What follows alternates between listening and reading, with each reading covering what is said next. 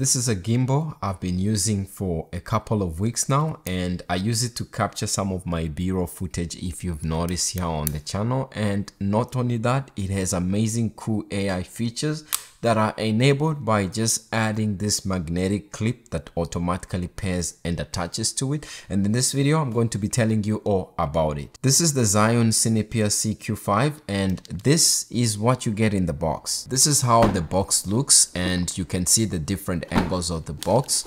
Once you open it up and remove the plastic wrap that it comes in, you get to be greeted by a service card that looks like this and a manual as well. And this is how the gimbal looks. It's very portable and it's meant to be pocket sized and you also get a base that you can add to have it stand on its own and you can also extend it to reach a further distance with your gimbal and you have a power button and the USB-C port on the side right there.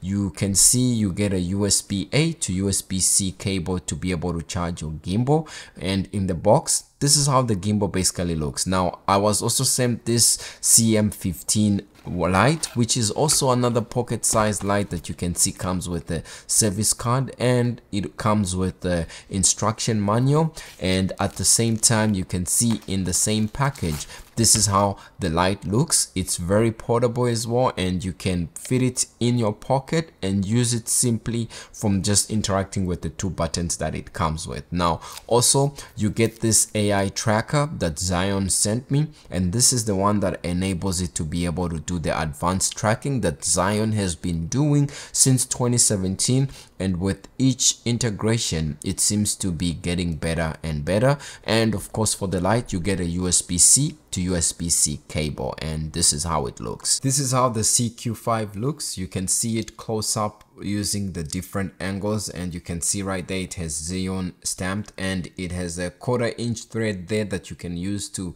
attach to your other camera equipments and to unfold it it's actually pretty simple so you just pull it up like this it makes a clicking sound and that's basically just about it. So to fold it back you do the same and it locks in place. So it's locked in place. You can see it's not moving or rolling anywhere and that helps you to be able to package it better and if you want to unpackage it you basically have to spin it from its axis right here which is pretty simple to do so then after you do that you can see it becomes loose to attach your mobile device which I've been using or with the iPhone 16 Pro, you can see here the word Zhiyun have to be facing up or standing straight up like this. And the camera side, you can see there's an arrow that tells you where the camera is supposed to be. So my iPhone 16 Pro goes in just like this and you can see this is the regular 16 Pro. It fits pretty well and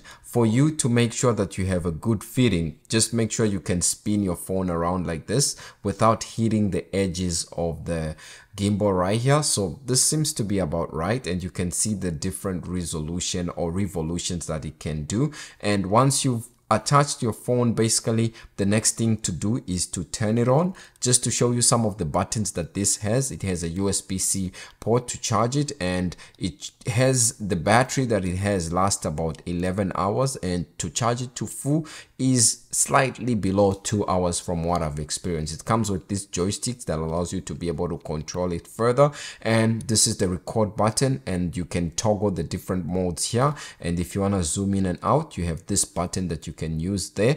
And at the same time there's a button on top for other actions such as going from landscape to portrait now to turn it on you just press and hold this button and after a few seconds you can see it blinks and give it a second and it will come back to life and boom you can see it's now back to life and this is how it looks. If i want to go to landscape that's the button right here that I just double tap and it automatically goes to landscape. And if I want to use the joystick to be able to set it up properly so that the phone can see I can use it like this. Or if I want to turn it this way I can be able to do that. Now Zhiyun also makes this application that works really well with the gimbal and it's called the ZY Cami app. And when you open it up you know you can set up your account pretty easily and you can see to automatically detect my gimbal the CQ5 and right there you can see it has some sort of AI tracking built in. So for example, if I want to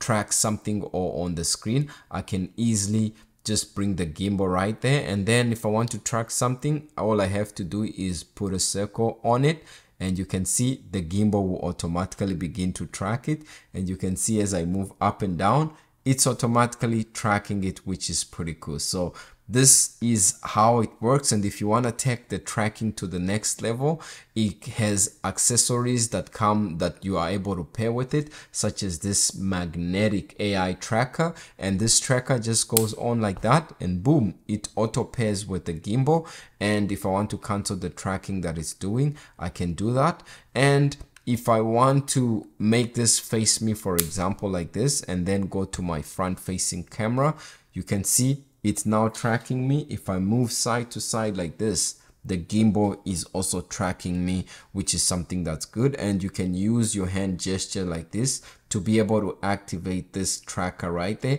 And once it's locked on the light will go from whatever color it's at to green to show you that hey it's locked on and it's now tracking you which is something that's good. The mode button if you press it once it takes you to the next mode so you and then if you press it twice it takes you to the previous mode. So the first mode that you see right there or the pf mode just means pan follow and with this mode the raw and tie axis will be locked but the pan axis will be unlocked. This is very useful if you are orbiting or going around something and then if you press mode again it goes to the second mode which is l and with this L mode it just means all locked and all the accesses are going to be locked. It's useful if you're going to be walking in a straight path and you don't want the gimbal to move anywhere. The third mode is this F mode right there and this is follow mode. The raw axis is going to be locked but it will allow you to pan and tilt which is something that's good. And then the next mode is the POV or point of view mode. And in this POV mode everything is basically unlocked meaning the raw tilt panning is all unlocked. If you are on the last mode and you press mode again you can see it goes to this tilting mode. And this mode basically allows you to be able to tilt your gimbal or to be able to do like basically a 360 you can see if you want to do this cool animation with your phone and gimbal. This is what this last mode does and you can see that the light will be blinking and it will allow you to capture angles which are pretty cool and have this circular motion. And if you press mode again it goes to the first mode. If you say the phrase or the words hey kami you can see it makes a sound and it responds and allows you to be able to do different things. So just listen to that again. Hey kami yeah, so it has some sort of voice assistant that allows you to do some task without using both of your hands. So this means that your hands can be free doing something else. It has this extension rod that you can attach to it and this will allow you to be able to stand it on a table and extend it. And speaking of extending it, you can see if you pull it out like this, it has an extension right there and you can see how much length you get if you want to extend it. And at the same time if you want to adjust the angle you can see you have this angle that you can adjust. And you you know you can continue shooting something like that. The ZY Cami application has different functions that it allows you to do. So slow motion you can do like a dolly zoom as well. You can do time lapse you can do hyperlapse animation too and every time you go to a screen or something that's new you can see it will tell you what that does. Now one of my favorite is the dolly zoom function so you can see please select the dolly zoom mode and you can go to it and then you select the function and use the gimbal and it will do the dolly dolly zoom function. Now also you can go to slow motion and other video as well as photo modes in this ZUCam but put it simply this is how this uh, CQ5 gimbal by Zhiyun looks. It's very portable and it's meant to you know fit in most of your bags and pocket. And you know you can just fold it like this attach the AI tracker whenever you get there and unfold it and you are ready to shoot good stable footage with a gimbal like this. So this is the gimbal that I've been using but like I mentioned Zhiyun also sent me this light which is a mini LED 15 watts full color pocket light. It weighs about 141 grams which is about half the weight of the iphone 14 pro max. And it has different modes that you can be able to choose from. And you see this button turns it on and goes to different modes. It gets really bright.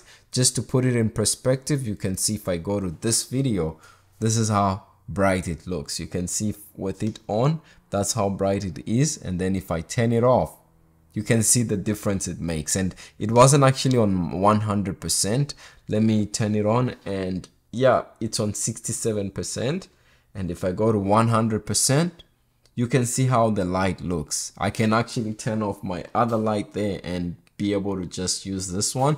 And it has the full RGB mode as well. So you can see here what it has. Just to show you here you can see you can adjust the dim. If I go like hue and adjust the hue. You can see how this turns out. If i go to the next and adjust the saturation you can see as well. And i can always go and dim it down to zero or to 100 percent. If i go to a different mode you can see it has the rgb that you can adjust each individually like this. And you can also adjust the dim while adjusting the rgb mode. The next mode that we have are the different modes that you can see. So you can see police car flashlights and all in all the, it has 18 built-in scenes and modes. It supports of course like i mentioned you can see there's a quarter inch screw hole for camera and tripods and it comes with magnetic expansion brackets that are available for using the light as a bundle and you can unlock it to more accessories and make it functional for you. So it also has the color temperature right here. So if you want to have it like warm color you can see goes from 2500k all the way to uh 10,000k which is really white so it has that too and you can adjust the g slash m factor right there which is pretty cool. And for a light that costs about 50 bucks i think this is pretty good. If I wanted to use it as a fill light because daylight temperature is about 65 right there. And then if I go to my A-roll video and add this light I'll just dim it down because it's pretty bright even though it comes with this soft box at the front. So if I dim it down right there maybe I'll say like 3% and if I add it right here I think this looks pretty good. Or if I put it this is with it off. This is with it on. If I put it to the side maybe just to feel this darker part of my face I think might be able to look better. So yeah this is how this light looks. And shout out to Zhiyun for sending me the gimbal to be able to review and sending me this uh, light to also be able to review. I'll leave links to this in the description of this video. And that's about it for me. My name is Ben. If you like this video hit like and subscribe. And I'll see you with other pretty cool gadgets pretty soon. Peace